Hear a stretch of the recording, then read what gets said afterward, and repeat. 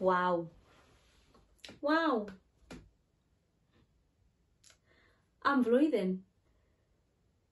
Croeso i gwybodaeth, my love, a cyn unrhyw beth dwi'n mynd i dweud, mae bod yn ddigon. Mae bod yn ddigon, mae bod yn ddigon treblu, triplin, am y pwyslais, love. Herwydd mae mor bwysig, mae bod yn ddigon. Dwi wedi dysgu loads yn 2020.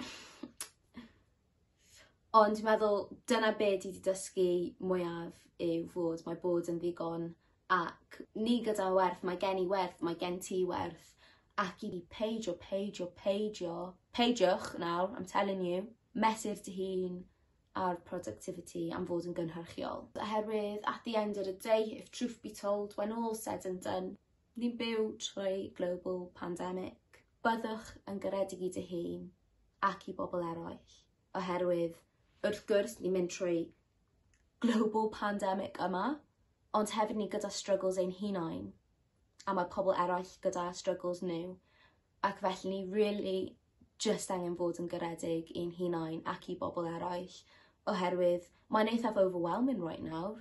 Efallai ti'n mynd mewn i flwyddyn 2021 ddim yn teimlo mor positif frustrated, falle overwhelmed, ac I feel it too, love, I'm telling you now, I'm feeling it too. Ac mae hynny mwy na okay, especially ar ôl y blwyddyn nid mynd trwy.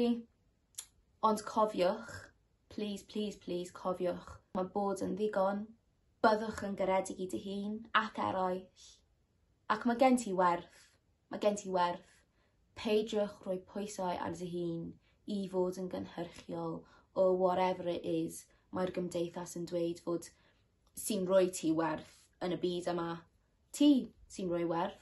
Dwi'n gwybod mae hwn yn cliché, ond weithiau mae clichés yn wir, ond ti werth y byd hyn. Ti werth y byd, my love. Edrych ar ôl dy hun yn 2021.